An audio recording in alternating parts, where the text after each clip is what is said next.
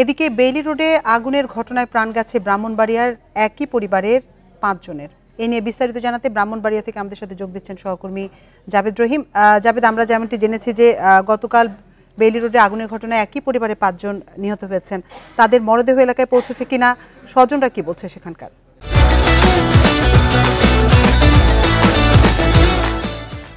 জি, আপনি জানেন, এটি সরাইলের সাবাজপুর এলাকার খন্দকার পাড়ায় বাসিন্দা ছিলেন সৈয়দ আবুল মোবারক কাউসার।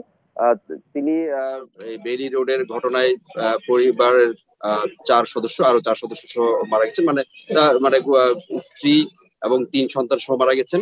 তার এখানে এই রাত্রে সাড়ে দশটার এই ঘটনার তার মৃত্যুর বিষয়টি গভীর রাতে স্বজনরা নিশ্চিত হন যে কাউসার পুরো পরিবার সবাই মারা গেছেন সেখানে।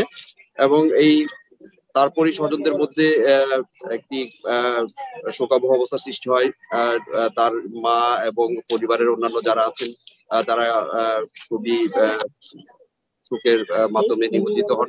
এবং পুরো গ্রামেই কিন্তু এই শহরের সাবাসপুরের পুরো গ্রামেই কিন্তু এই ঘটনায় একটি শোকের ছায়া পড়েছে। আমি এই মোবারক কাউসার যার তার বাড়ির সামনে আছি। এখানে আপনি তার যে কফিন আহ, লাশ রাখার জন্য খাটিয়া রাখা হয়েছে এবং একই সঙ্গে পাঁচটি কবর খোঁড়া হচ্ছে সকাল থেকেই।